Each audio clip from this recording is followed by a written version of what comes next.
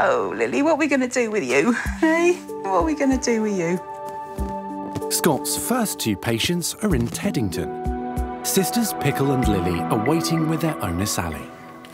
For the last year or so, they have been a bit incontinent. Well, for most of their lives, we've noticed little bits of dribbling, but it has started to get worse to the extent now that quite often they're lying there and you just literally see urine dribbling out of them and they've absolutely no idea that that's happened. So, yeah, it's starting to get quite annoying now, not to mention very wet and smelly. Sally and her daughter Katrina love their two girls. Who's my big Pickle boy? Yeah, look at me. But the constant leaking is out of control and they're desperate to get it fixed. Poor little pickle. And now she's weed on me. oh. Looks like half wet myself. it's just a, a normal day in the household, eh? I'd really like to have two dogs that don't leak all over the floor. I'd like to be able to walk into my house, sit down on the sofa, and not shoot straight back up again with a wet bottom. So, definitely hopeful that Scott will get to the bottom of all of this. Hello, Sal. Hey, How are you, mate? Mm, good. How are you? I'm really good. I'm really. I'm looking forward to seeing you. these Oh, girls. well, please come and meet them. What is that smell, Sal? Oh, sorry. There's a serious pong, Yeah, isn't there, in here? There's a I know, serious smell. I Oh, and know. actually, look, Oh, lovely. I wonder what the smell was, and uh, there's the answer. Who's the culprit for that? Which one? Hey, who's looking sheepish? Walking into Sally's house, straight away I'm hit with a wall of smell. It's not a good smell. This isn't potpourri. This is the smell of wee. Not very good start. Yeah. So do they both wee around the house. They do. At the moment, Lily's probably slightly worse. You can actually see it flowing out of her sometimes. And how often are we talking? Once or twice a day. Once or twice a day? Yeah. Your dogs are peeing in the house. Well, they're not peeing, they're dribbling. Oh, Sal. the obvious problem in Sally's house is that she is wading through puddles of wee. Lily has urinated on the floor and she doesn't know that she's done it, and that's clearly a worry. Can I have a little feel of you? All right. Sal, is there ever any blood in the urine at all? Not that I've noticed. Okay, so it just looks like normal old wee. Yeah. Okay. Yeah. Just inappropriately positioned. Yes. Usually on my lap. Seriously, they wee on your lap. Yeah. Oh, that's But they don't wee, they dribble. I love the way that you're making excuses for them, which is lovely. I know, I know. but your version of normal is not normal. no. Having an examination of the two dogs, I can see they're very healthy and they're clearly much loved. But there is a problem here. I'm not sure what it is. It could be a congenitally inherited condition that they've had since they were puppies. It could be infection. It could be hormonal urinary incontinence. There's a lot of question marks here. So what I need to do is to take both dogs into the practice where I'll understand exactly what's going on. Come on, then say bye to mummy. Bye-bye. See ya. Bye. Bye-bye. Bye-bye, girls. Off to the practice with you. Come on. Yes. Try and cross your legs for the journeys, would you, girls? Yeah. Thank you.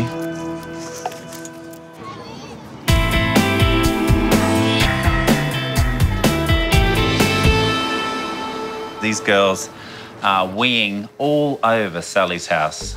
So Jess, if you want to take her through to X-ray. Back at the practice, Scott is going to x ray both of Sally's dogs, starting with Lily.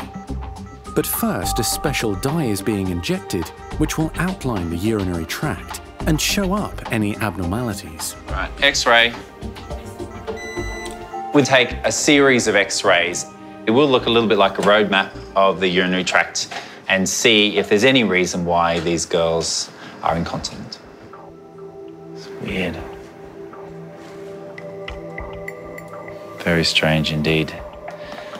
Mm, I'm doubting myself now because I'm just doubting what I'm seeing on X-ray. The X-ray looks like there's one kidney, which is pretty strange, Uh, and it also doesn't really explain why the dog's incontinent.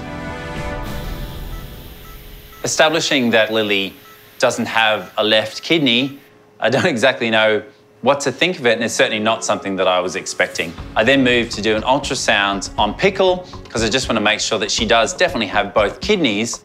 Okay, so there's one. Yeah, and there's there's the second one. Thankfully, she does, but I still feel that as these sisters are genetically related, and the problem with Lily is likely to be a congenital abnormality from birth, they can both share similar issues. Good girls, that's it. Come on, come on. Where's mummy? No, babe. Hello, Owner Sally mummy. has arrived, hopeful that Scott has found the reason for her leaky ah, dogs. I need to sit down after Oh that. dear. So I have done a excretory urography. It's basically a contrast Yeah. image of the urinary system. Yeah. And it seems like Lily doesn't have a left kidney. What? Yep. I then just ultrasounded Pickle Yeah. to make sure that I wasn't going mad. and I could see that there is actually two kidneys in her abdomen. Right. But this is clearly some sort of congenital abnormality, so from birth. Okay. So we need to send you up to the Royal Veterinary College where the specialist there will do a CT scan and they'll give a lovely 3D image of everything that we need to check out and see what's what and what's not. And also do a cystoscopy, which is basically where they put a camera into the bladder and they have a look around, not only to see where the ureters come from the kidneys into the bladder mm-hmm. and where they drain. Yeah. Okay. All right then, Sal. Okay. Well, thank you very much. So now I'm going to be sending Sally and the girls up to the Royal Veterinary College where the specialists will be performing some more tests and then hopefully try and fix them. Bye, mate. Bye, Scotty. Bye. If he wants them to go up there, they'll go up there. Trust him implicitly. But yeah, I'm worried. Hmm. Go on. Let's go. Scott's now taking a break from his London practices and heading west to Wales to polish up his skills as a farm vet. I'm really excited to be heading out to West Wales again. The people that live out here are absolutely awesome. They're so down to earth and they're really dedicated to the animals that they look after. So I'm honoured actually that they've asked me to come out and help. Scott's first stop will be the historic town of St Clears. Now, last time I was here, I really had to earn my stripes as a farm vet, doing things that I haven't done since my uni days. He's got a lovely temperament. Yeah, I can tell. oh, man. We'll make a farm vet of you yet, Scott. Welcome to Wales. This time I'm going to have to step up another level because it's all hands on deck. The vets are so busy this time of year, so I just hope that I can keep up with the pace. Scott will be based at the Market Hall practice, which looks after local pets as well as animals at surrounding farms. And he's checking in with head vet David Stark. Morning, David.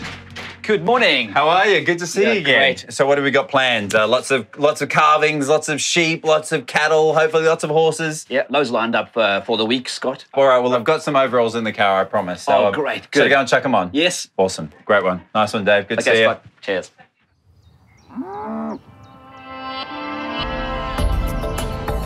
Scott's being put straight to work after a call about an emergency at a local dairy farm. A Jersey cattle owner has called to say that one of her girls is very sick.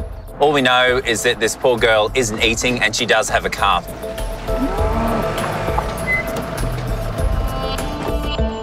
Scott will be working under the guidance of vet Vicky. Right, time to get suited up. Yep. She deals with big farm animals on a daily basis. What we need? But Scott hasn't done any major procedures on a cow since his university days. Oh my goodness. Here we go. Waiting anxiously is dairy farmer Helen, she's worried about her much loved cow Athena, who's recently become a new mum. She just looks generally miserable um, and not happy with life. We never have problems with calvings of the jerseys. So I'm a little bit nervous. Hi, I'm Scott. How are Hi, you? I'm Helen. How are Hi, you? Helen. And who's this gorgeous beast? This is Athena. Athena. Very beautiful. Right. So, what are the issues that you've been having with your cow? Um, she's been calved just under a week, and we've noticed the last few days um, that she hasn't really been eating as much as I'd like her to. She just looked a little bit depressed. Right.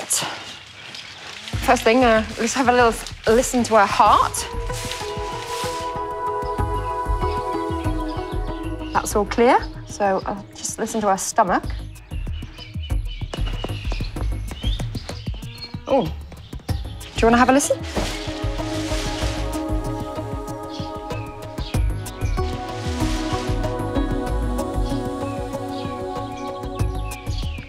there's not a huge amount of noise going no, on in it's there. quite which, quiet. Yeah. That rumen's not moving. Yeah, Yeah. yeah, yeah. So it's just not functioning No. at the moment. Yeah. All I can hear is complete silence, and that's a real concern. The four stomachs inside a cow should make a lot of noise, and when they don't, that's a worry. I believe that this cow might be suffering with a condition known as left displacement of the abomasum or LDA. It's basically where one of the four stomachs is twisted and can commonly happen after a cow has had a calf. The way that LDA is diagnosed is by using percussion, so basically tapping on the side of the abdomen of the cow. You hear it? Oh wow, yeah, there. There. Oh yeah. Wow, that's amazing. That is a lot different to the surrounding area. It's very distinctive sound, isn't it? Yeah. We can hear a very tinny sound, which basically sounds like a, a bag, which is the abomasum, filled with gas. It, so it sounds a little bit like a drum. So pretty much part of the stomach that's here needs to go over there. Yeah. And the only way to do that is by reaching in, Um, pulling it back. pulling it out. Athena at the moment's uncomfortable and she isn't eating and she will lose weight quickly, so we need to intervene with this surgery. First, I just need to give it a little local. In Wales, Scott and farm vet Vicky are about to begin critical surgery on new mum Athena. You're not going to like this, yeah? You're going to jump a bit. She's being given a numbing injection in her side, but she'll be awake throughout the procedure. Good girl. I know, I know. If a large animal is calm enough and quiet enough with just a light sedation and local anaesthetic at the site of the incision, it's far better for them and it's far safer as well. It's a nice happy drugs for you, sweetie. After calving, the much loved Jersey cow has been left with a badly twisted stomach. One of her stomachs is full of gas and has moved to the wrong place. So uh, we need to get that back in the right place. But sometimes you can open them up and they've been twisted for a long time and the abdomen has started to react. So until you open them up, you don't really know what you're going to find. Surgeries involved in any animal. We haven't had a huge amount of them done here either. So from an owner's point of view, it's, it's a little bit nervous to watch it happen, yeah. I can just feel across and I can feel a nice big stomach on the other side. Right. So now we're going to deflate the uh, stomach. So this is quite a dangerous moment, really, isn't it, Vicky? Yeah, this is quite a big needle, and idea is we want to just take the needle across, put it straight into the abomasum, and get the air out. Back in my uni days, we learned about farm animal stuff, but it's about 20 years ago, so I do need to refresh my skills with these fantastic farm animal vets. So if you're going to stab anything, stab yourself. Right. So you want to take that, Yeah. So guard it. I just want to keep that on there and guard it with my life. Yeah. All right, Athena, you can trust me, sweetie. So round, round the intestines. Oh my goodness, that is actually quite hard to do. Yeah. Without stabbing yourself. Yeah. So once we open up the cow, you're going in blind. It's just experience and knowing what's normal and navigating under and round, quite important bits of anatomy. And then just straight in, straight in. as far as you can, Okay, and then it's going in now. there we are. So the gas that comes out, that's basically fermented grass. That's what they're eating at the moment, and it's sat there for a good couple of days. So it's quite rancid kind of smell, really. My heart is actually going doing that. so that is that's that's frightening. Is uh, performing a procedure like that, a massively sharp needle around this poor girl's organs. Protect the needle, bring it back out. Okay. Yeah. Okay. Please don't move. Okay. Good girl. There we go. There we go. There we go. There we go. An antibiotic spray completes Athena's treatment. Great. Good job.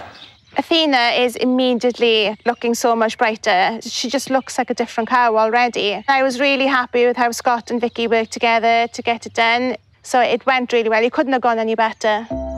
Before Scott leaves, he wants to see how Athena's six day old calf is coping without his mum. This is Athena's son Achilles. Hello, mates. Oh, hello, beautiful.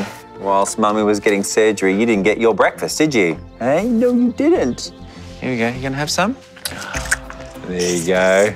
There's the good stuff right there. Oh, yummy. Boy. It's been a really incredible day today to be able to work alongside Vicky and to help Athena, and now to feed this adorable little youngster. It's been a great end to an absolutely perfect day, and now I can see the benefits of being a farm vet. Pretty nice, really. Well, they seem to enjoy that, and hopefully Athena will be able to do the job moving forward. Yeah, she's already looking a lot brighter, so hopefully he'll be back in with her tomorrow morning, hopefully, to just have a little bit of a, a suck, and then she can go out with the rest of the cows then. Yeah, unless you want to come home with me, eh? Eh? Yeah.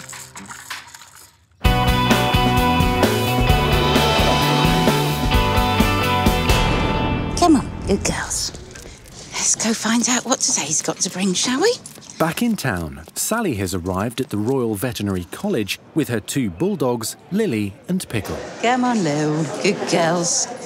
Hi there, Sally. Hi, yes. Hi, Stijn. Hi, Stijn. Uh, Nice one of the internal you. medicine specialists with my team. Uh, Hi, team. And these are Pickle and Lily. That's Did I get it right? Yeah, you yes, did very well good. and uh, they are weeing in inappropriate places, They right? They are weeing everywhere. Very good. Yeah. So Yes, up to us to figure nice. out why that might be happening and see whether or not we can do something about that. Pretty please. Very good. Shall we get a room?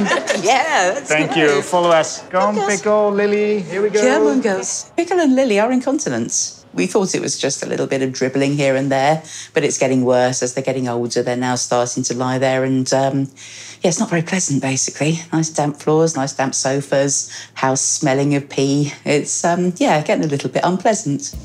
Hello, you. Internal medicine specialist Dr. Stijn Niessen will be in charge of the investigation. And we can see the problem in action here with already a puddle being created. So I see many of these cases on a yearly basis, but Lily poses a real dramatic case with the urine dribbling in front of my eyes on the examination table. I can't imagine how difficult it is to have Lily in your own home. So we definitely need to try and fix this. Right, we need to figure out what the detailed anatomy is of both Pickles and Lily's urinary tract, because something is preventing both of them to keep the urine in the bladder. So I would suggest that we use a CT scanner to really get down and dirty with the anatomy of uh, both Lily and Pickles. What started off with just being a few dribbles is now turning into puddles, and I think before long we'll be turning into lakes. Lily is first in the CT machine. When Scott x-rayed Lily, he discovered she had only one kidney. So the fact that Lily has only got one kidney is slightly odd, but that sort of gives me a hint that I should be open-minded as a vet to look for other abnormalities that Lily was born with. The one point that I'm looking at here is this white dot, which is the tubing that normally goes from the kidney to the bladder. What happens here with Lily is that this tubing is actually ending up very, very late into the urinary tract in the bit that we call the urethra, which is not in the bladder anymore. So that explains perfectly well why Lily is incontinent, because if your urine goes not into your bladder but into your urethra, there's no mechanism to stop it from coming out. Now it's Pickle's turn to be scanned. Unlike her sister Lily, Pickle was born with both kidneys. So we've just done Pickle's CT scan and we've got a double whammy. Pickle does have two kidneys and both kidneys are ending up putting the urine in the wrong place, way too far back. So Pickle has got the same problem as her sister. It's time to break the news to owner Sally. So they both have an ectopic ureter, uh, which basically means that we've got a bad connection between kidney and bladder. And we are going to try to create a good connection once again. Um, and the strategy we will be looking forward to trying to use is a laser technique. Okay. So basically, you're talking about rewiring my dogs. yeah, well, replumbing actually. Fair enough. this is absolutely brilliant news because it's something we can actually do something about. Yeah, what I really didn't want was to be told that this was behavioural and then it's something that's out of my hands, but this is something that we can actually work on. Surgery on both the dogs will be scheduled for tomorrow. Not quite home and dry, but certainly, hopefully, a lot drier than we were before.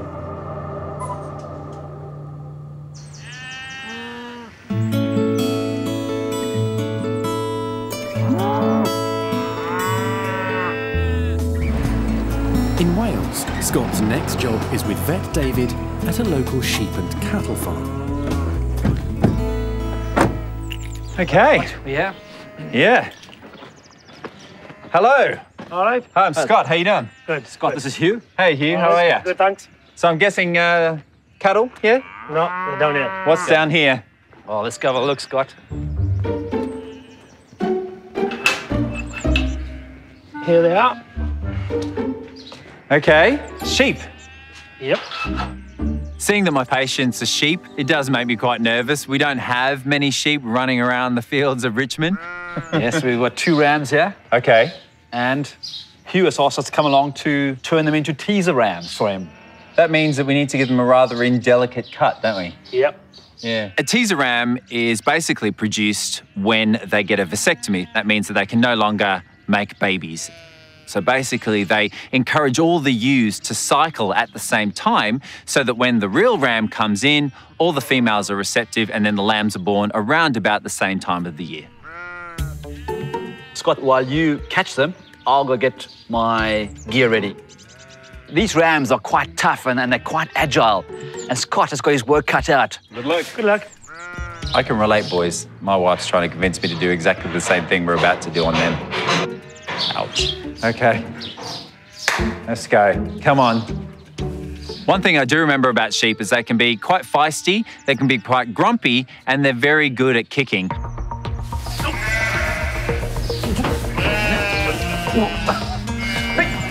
Oh my God. He's bloody strong.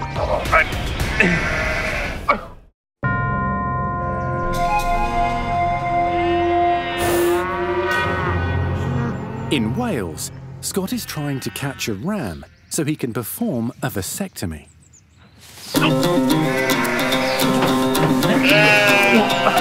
Oh my God. Bloody strong. Hey, Scott. Got Yeah. the wrong one there. Hugh is a classic example of a Welsh farmer. Great sense of humour, great fun, very hospitable. Not funny, Hugh. Not funny. but more than happy to let the city boy go in and look like a fool. Okay, come on, mate. Wait. wait. He's not the best at handling sheep, I'm not saying, catching them, but he managed, just about. It was a bit funny, it was a bit entertaining. I wouldn't want to go over there either if I was you. Come on. He really heard what we said we were going to do to him. You can tell he's not keen. On a farm, we have to make do with what we've got. So using a hay bale as a surgical table is all we've got. And obviously it's not the most sterile environment, but we wash up and we scrub up and we clean things as best we can.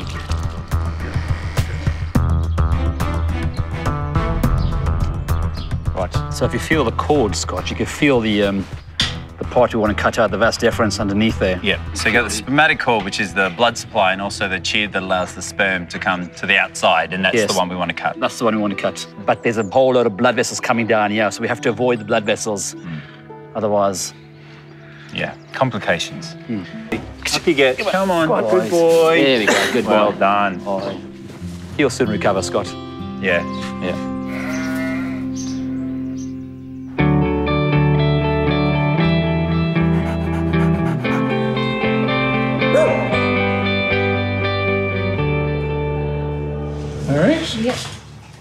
Quite asleep already. so we can- pretty chilled. A world away at the high tech Royal Veterinary College, bladder surgery on incontinent bulldogs Pickle and Lily is about to begin. Their condition is rare, so they've been brought to the RVC, where Dr. Rosanne Jepson will perform specialised laser surgery. Both Lily and Pickle have abnormalities in their urinary tract. So they have tubes that connect the wrong components together, essentially. And what we're going to do is we're going to use a laser to try and correct those changes.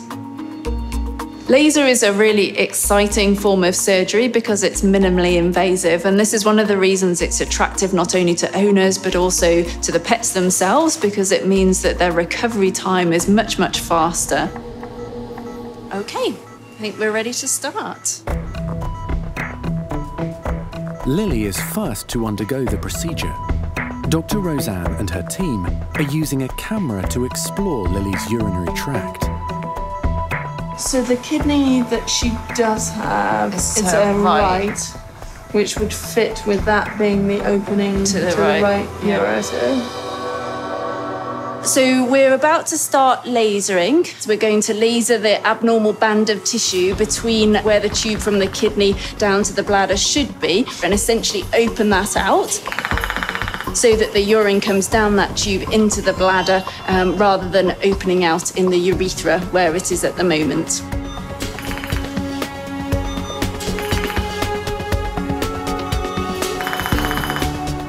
Stop. Yeah, yeah. Okay. So we've been able to laser the little bit of excess tissue that was present. We did find one slightly unusual finding was that she had a very small blind-ended tunnel which may have been the opening of the ureter from the kidney that doesn't exist. But so far so good. Procedure has gone as we hoped it would. Now it's Pickle's turn for the high-tech laser surgery. In terms of the procedure, it is quite technical. Every dog is very different. And so the same would be true for Lily and Pickle. And that creates some of the challenges that we have with this procedure. Although Pickle has both her kidneys, she shares the same genetic abnormality as her sister, which means her internal plumbing is faulty and she constantly leaks urine. Okay. So both Lily and Pickle's procedures have gone very well today. We'll have to see how well they recover, and the next sort of 24, 48 hours really will tell us whether they're going to be continent after this procedure or not.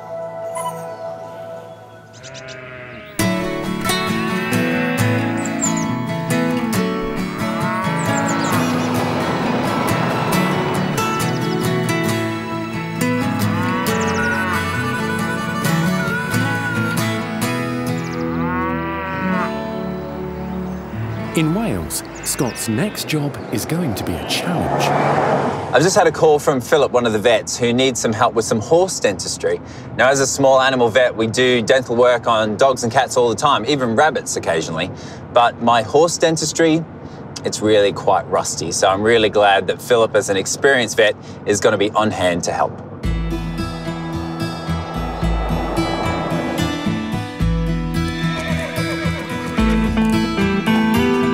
Waiting for Scott and Philip Yeah, are friends Sue go. and Cher, and elderly mare Folly. See what sort of mood she's in today? Folly! Hello, baby. I've had Folly 28 years now. She was my first horse, my dream horse. Yeah, I love her to bits.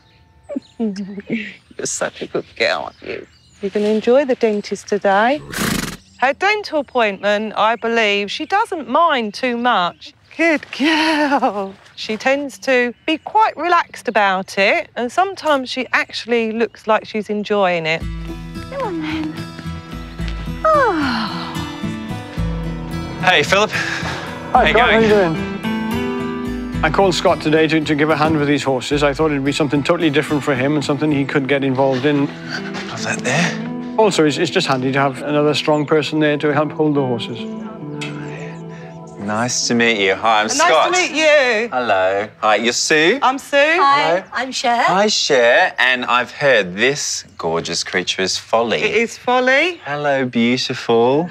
They say it's a bit rude to ask a lady her age, but just by the look of her, she looks like she is quite mature. Is that fair? She is mature, like her owner. Um, yeah, she's um, Folly's about 38, 39 now. Are you? You look absolutely gorgeous. Folly is so beautiful. She's got the most gorgeous blue eyes, and she's one of the oldest horses I've ever met. And being that she's a little bit, pardon the pun, long in the tooth, uh, she's getting some dental work today. She is, yeah. She hasn't got any problems that I see at the moment, but um, I still make sure that everything's right in her mouth and she's comfortable. Yeah. Horse dentistry is really important in domestic animals because domestic horses live a very long time. Normal horses in the wild live to maybe 20 or so. So the older you get, like with us, the worse your teeth get. So, Philip, this is Folly, the ripe old age of 38. Wonderful, isn't it? Yeah. Really good how some horses just keep on going. Yeah. And she's looking fairly good for her age too. She is. All right, so got to put this one on.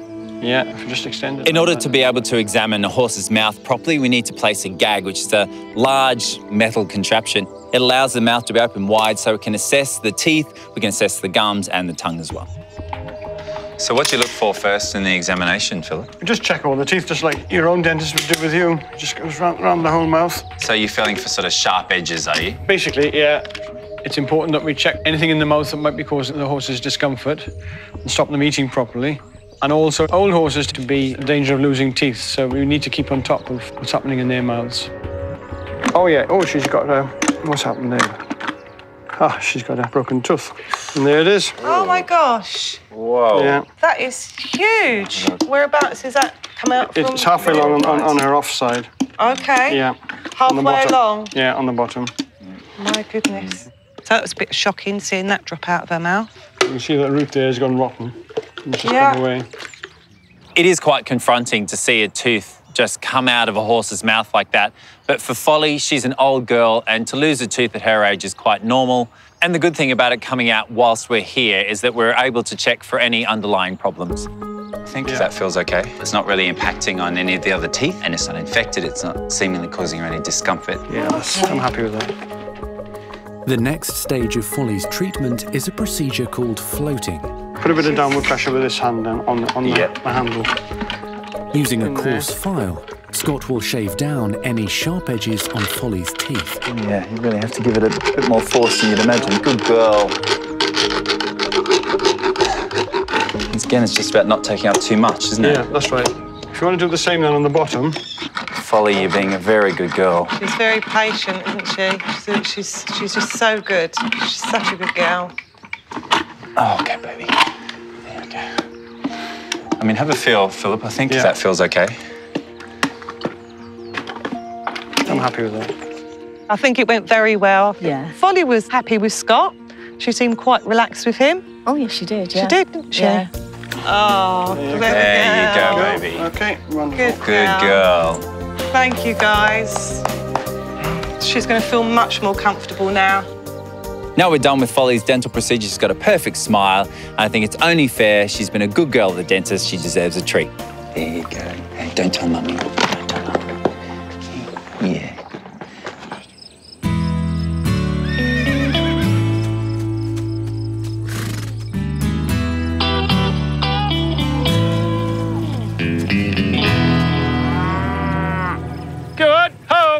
It's a busy time for the farmers in the area, with everyone getting ready for the local agricultural show. Go there. For Farmer Clive, it's an especially nervous day. It's my lifetime's work breeding cattle, and it's my father's lifetime's work before me. And the best barometer of judging the quality of your herd is to take them out and compare them with other people that are trying to do the same thing. But several years ago, Clive's farm was affected by the highly contagious bovine TB. Bovine tuberculosis in this part of Wales has been um, a major issue. It's a serious problem because it's a disease that affects the lungs and lymph nodes, and uh, there is a risk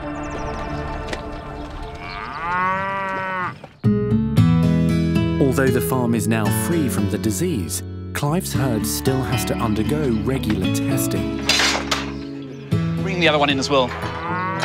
And head farm vet David has just arrived. Okay. Bovine TB is spread by infected badgers, and the ramifications for farmers like Clive are enormous. Just the physical having to test the whole herd every 60 days is uh, it's a nightmare. Seventh Okay, that's great. You have to keep doing it until the government find a way of actually getting rid of it so that we have healthy cattle and healthy wildlife. Ooh, it's a bit of a worry. Ah, let me, I'll have to check, Clive. I'll have to check as well. fair enough. If the tests return a positive result for TB, Clive's cows will be ineligible to be entered in the local show. All right, seven. Let's check the bottom. Seven. Good. Good. That's great. Happy days. Yeah. It's such excellent news for Clive. And I'm also relieved because, as a vet, there's nothing worse than bringing the farmer bad news. So, to be clear today, it's a big relief. She's fine. She's clear. Great. Good. St Clears show, here we come. It's really good news. The cows are clear to go for St Clears show tomorrow. A bit of elbow grease using them tonight and a spit and polish and get them look as good as possible. So I'm very, very happy.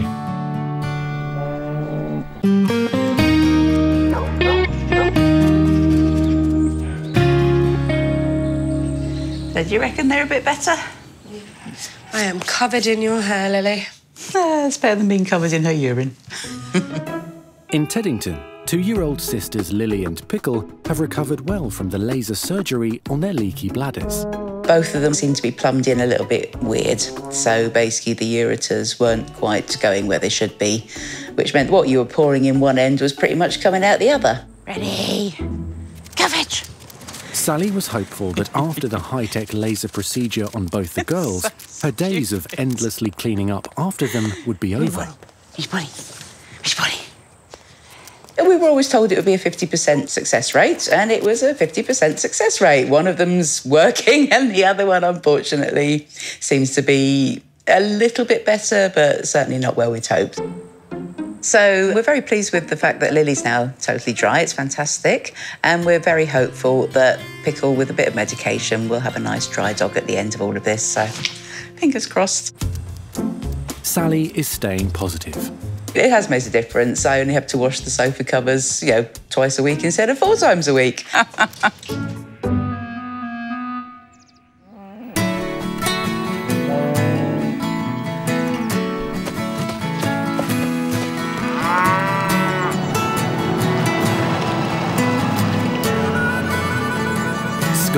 In Wales is almost over, but the locals have asked him to help out with something very dear to their hearts. After a fantastic and exhausting and exhilarating week here in Wales, I'm here at the St Clears show. It's all the great farmers of the area coming together with their beautiful animals to show them in the ring. The agricultural show is the highlight of the farming community's year. The St Clears Agricultural Show is a family show, it's a community show. It's been running now since late 1800s. We seem to be going from strength to strength.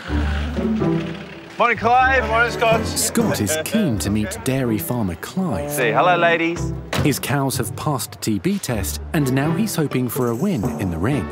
And what's the general sort of physical attributes that they're looking for in a winner? In a winner, you, you want a nice, tall, fine-bodied animal. We're talking about cows, right? Cows, Okay. yes, we are talking about Right, cows. just checking. It's, it, it's, uh, but you want a good-looking, uh, uh, good-looking cow. Yeah. It's like it's nice to have a good-looking woman on your arm as well. Uh, isn't it? well, absolutely. The cows will need some last-minute spit and polish, and Clive has roped in Scott to help. All right. Don't let go. Okay, I won't. What's her name? Tunisia. Very fancy name for a girl from Wales, isn't it? I'm feeling confident for Clive, and I really hope that after all the bad luck that he's had, he can have a win here. Shampooing a cow, so... It's uh, not so- something I've done before. I just thought when a cow would come, they'd be cleaned first, but in fact, they don't travel well. And I want her shining. You want her shining. Oh, I don't want to see any muck on her whatsoever. Mizzy, you and I are going to have words.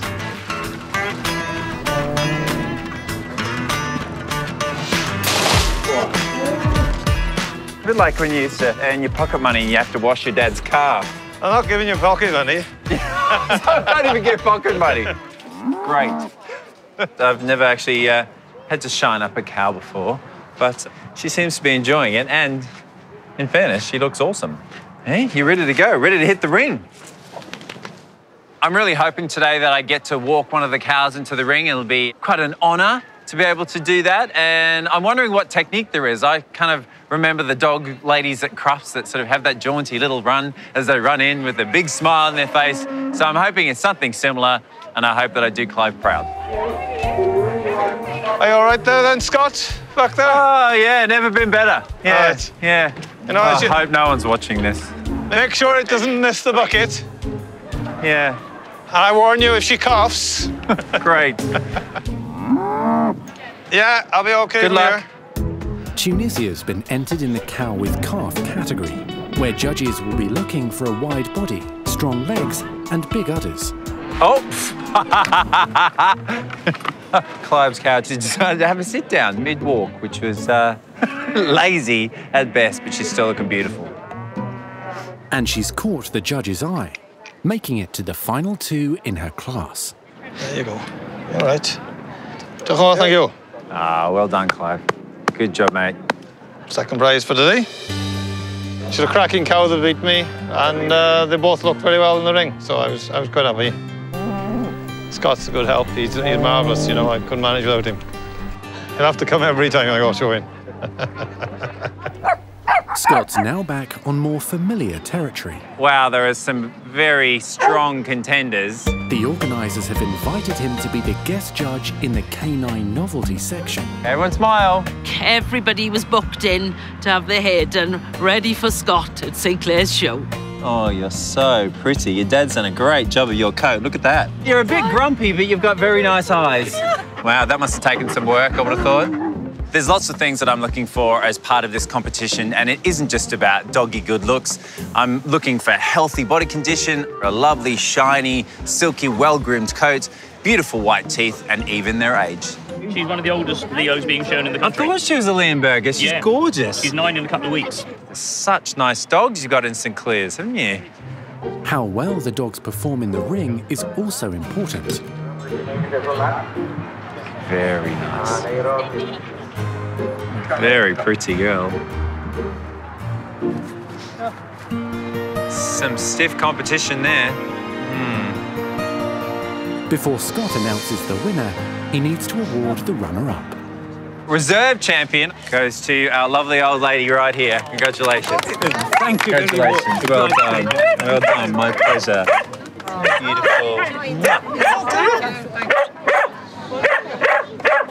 And now it's decision time for the all-important Best in Show. Well, firstly, can I say you're all winners and they're all fantastic dogs. But the winner of the St. Clears Agricultural Show 2017 is the Bernese. Congratulations. Well done. Good job. Well done. Good girl. Here we go. That's yours. That's yours. Where, should I put it on you or the dog? I'm going to put it on you. You can just say you're the champion of everything. There we go. Well done. Congratulations. Thank you. Good girl. I do watch him on the telly. It's not every day you all cuddle with a celebrity, is it? The 139th St Clears show has been a resounding success as Scott prepares to leave Wales for home. Hey, Scott, it's been great to have you and the team here again for a few days. I think, I think we've all enjoyed it. Thank you. Well, I've really enjoyed myself and uh, hopefully I've impressed you with my farm skills a little bit. Yeah, Scott, I think slowly we can see the farm bed emerging in you. Boys, it's been a pleasure. Our pleasure, really good. Thanks for having us. Great having you again. Cheers. Hope to see you again soon. All the best. Bye. Okay, David. Yeah, Let's go go for a for beer. drink. Yep. Come on. I've absolutely loved my time here in Wales. The country people and their relationship with their animals is just so special. Today's been just a massive celebration of that fact, and I've been very honoured to be a part of it.